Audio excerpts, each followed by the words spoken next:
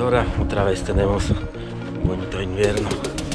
Voy a tienda a comprar un poco componentes para hacer higos de chucrut con puré de patatas. Hoy será esta receta.